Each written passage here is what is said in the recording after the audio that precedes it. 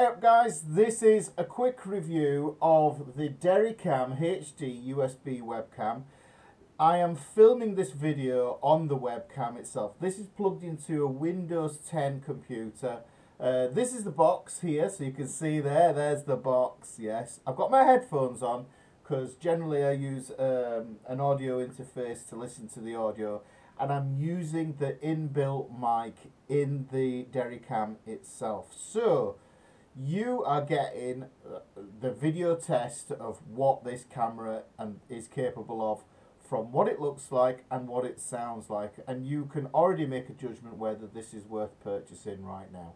Um, let's do a little test. If I take this off here, I've got it on my monitor there and what happens is with these things as you can see it's got this little thing it's pretty much a, a kind of a, a Logitech C920 uh, style uh, body and everything else like that but even with the lights on the front there but you can see close. It does a pretty decent job there, I think. Um, let me just hold that still. We can see my keyboard there.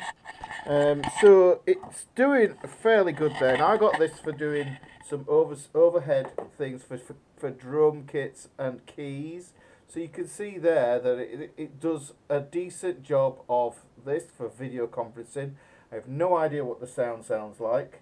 Um, so yeah, that's about it. It it does have this fisheyiness to it, which the cheap webcams do. But I've, I've bought three or four different webcams now, and uh, out of all of them, I think this is probably the best one. The colour's okay. It's not like a, a Logitech C920, but if you've looked for a Logitech C920, you know that that it's it's disgraceful how they are price gouging when before the uh, uh, the whole debacle that we're living in now, uh, you could pick one of those up for 40 quid.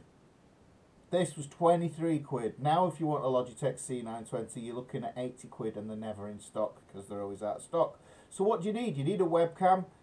Is this the one for you? I don't know. You know already from watching this video, listening to this audio. Um, if it is for you guys, I've put a link in the description below. It's an Amazon affiliate link. If you click on that, I get a teeny tiny fee for buying these yeah, uh, and making the videos. So I would appreciate if you bought it through that link there. That would be brilliant. Uh, and I will see you in another review video coming soon. Take care. Uh, hit that like and all that nonsense. Okay, see you later, guys.